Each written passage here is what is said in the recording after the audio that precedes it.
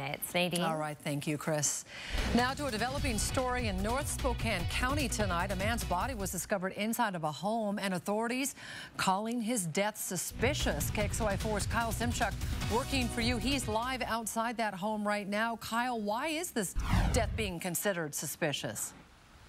Well, Nadine, it's because they don't know how this man died. He was found covered in blood inside a bathroom, and they're trying to figure out how this all happened. Now, sheriff's deputies received a call just after 9 this morning and responded to a home on North White House Drive. That call came from a woman who told police she was a caretaker providing assistance to a family member.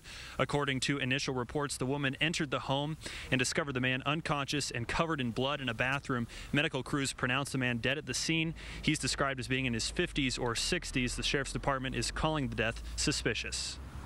Due to the nature of his injuries and not knowing exactly what happened here, uh, major crimes detectives did get called to the scene and they are conducting this as a homicide investigation at this point um, until they learn exactly what occurred.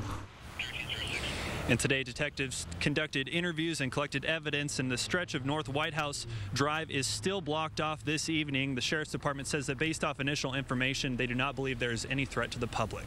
Reporting live in North Spokane, Kyle Simchuk, KXLY 4 News. Thank you, Kyle.